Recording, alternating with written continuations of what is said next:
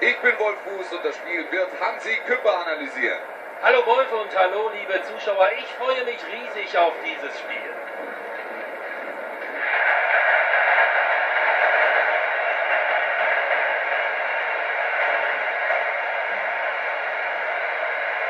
Die Spieler singen die Nationalhymne.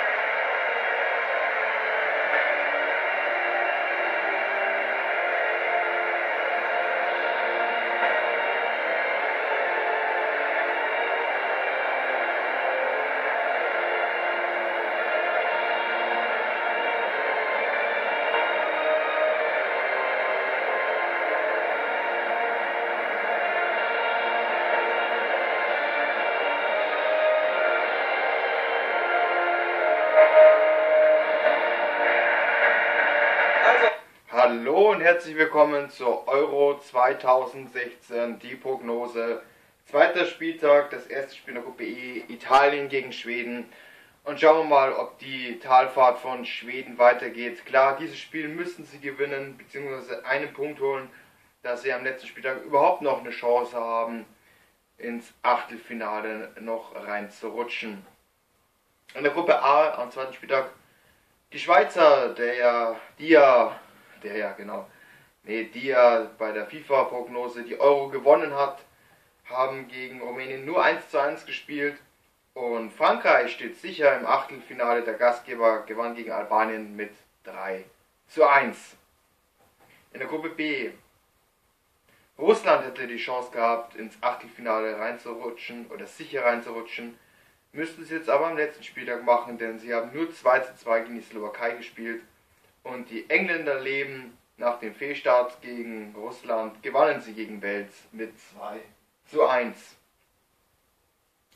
Die deutsche Gruppe, Gruppe C, Nordirland auf Platz 1 mit 4 Punkten, Deutschland auf Platz 2 mit 4 Punkten, Polen, äh nicht Polen, Entschuldigung, Ukraine auf Platz 3 mit 2 Punkten und Polen Tabellenletzter mit 0 Punkten. Denn Ukraine spielt gegen Nordirland 2 zu 2 und die Deutschen, muss ich wieder dazu sagen, gewinnen mit Ach und Krach 3 zu 2 gegen Polen. Dann die Gruppe D. Und es ist eine Entscheidung gefallen, denn die Tschechen stehen im Achtelfinale. Sie haben die Kroaten souverän sogar mit 4 zu 1 geschlagen. Und ja, die Spanier konnten noch einmal den Kopf aus der Schlinge ziehen. Spanien ist noch nicht raus, im Gegenteil hat eine gute Chance, doch noch ins Achtelfinale reinzurutschen, denn sie haben die Türken mit 2 zu 1 geschlagen. Ja, und hier bei der Partie Italien-Schweden. Äh, Schweden ist unter Zugzwang das erste Spiel 2 zu 1 verloren gegen Irland. Belgien, Italien endete 0 zu 0 und kein Abseits und Tor. Die Führung für Abseits. Abseits. Also, ich wünsche euch jetzt viel Spaß bei der Partie in der Gruppe E. Italien gegen Schweden.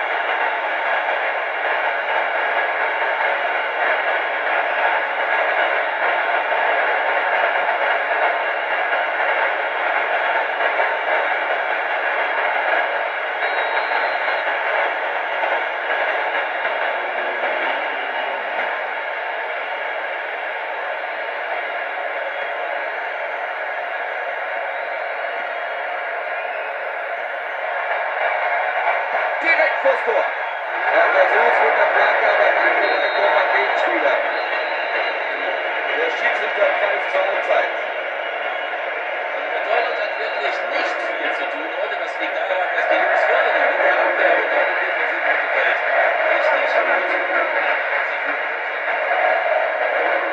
Sie liegen in einem Telefonie. Ihr könnt also gespannt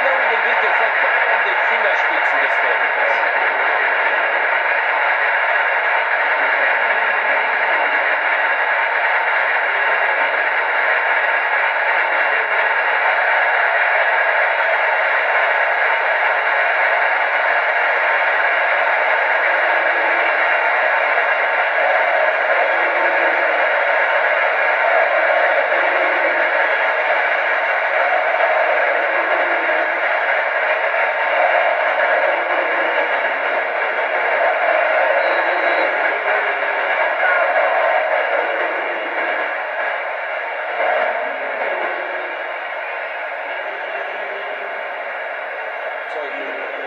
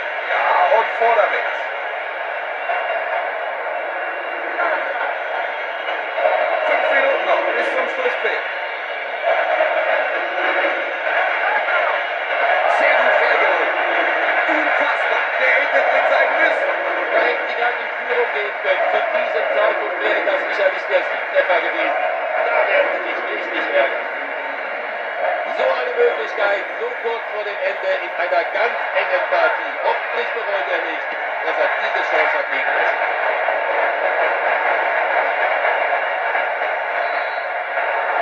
Der Pfiffe soll unterbrechen. Das Spiel ist aus.